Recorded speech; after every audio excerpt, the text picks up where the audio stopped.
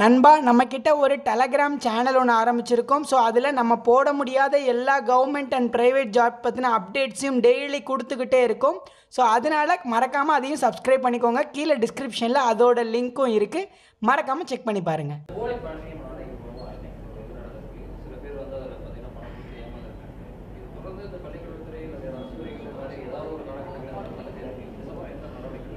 வேறு ரொம்ப ரொம்ப அது ரொம்ப வருத்தத்துக்குரிய செய்தி தான் நானும் பார்த்தேன். ரொம்ப சங்கடமாக இருக்குது நான் ஒன்றே ஒன்று படித்த இளைஞர்களுக்கு நான் ஒன்றே ஒன்று சொல்கிறேன் நான்.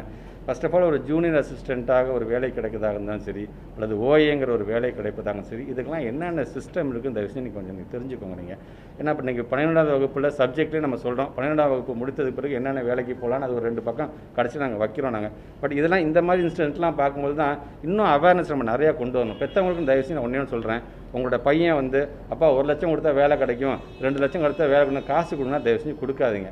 எந்த வேலையோட அப்படி உனக்கு கொடுக்குறாங்க? வா என்னை கூட்டிகிட்டு போய் காமின்னு தயவு செஞ்சு நீங்கள் சொல்லுங்கள் நீங்கள் அதே மாதிரி இளைஞர்கள் படித்த இளைஞர்கள் தயவு செஞ்சு படித்தவங்க நீங்கள் அந்த அவேர்னஸோட தயவு செஞ்சு நீங்கள் இருங்க நீங்கள் எந்த இடத்துல யார் ஆர்டர் இஷ்யூ பண்ணுவா? டிஎன்பிஎஸ்சி மூலமாக எந்த வேலை கிடைக்கும்? இல்லைன்னா நார்மலாக இந்த ஓஏங்கிற வேலை எப்படி கிடைக்கும்? தயவுசெய்து தெரிஞ்சுக்கோங்க அதெல்லாம். தெரிஞ்சுக்காமல் யாரோ ஒருத்தவங்க சொல்கிறாங்க அப்படிங்கிறதுக்காக உடனடியாக அவங்களை நம்பி காசு கொடுத்துட்டு யார் வேணால் பிரிண்ட் அவுட் எடுத்து கொடுத்தா இதுதான் ஆர்டர் காப்பின்னு ஆகிட முடியுமா?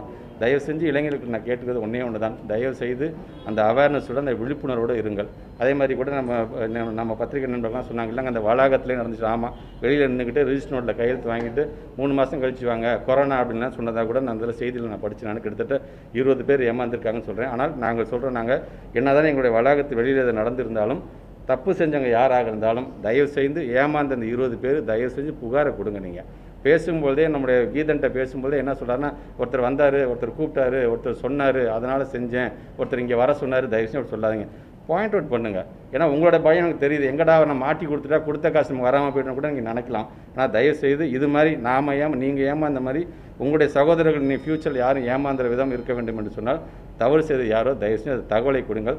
கண்டிப்பாக அவள் மீது உரிய நடவடிக்கை எடுக்கப்படும்.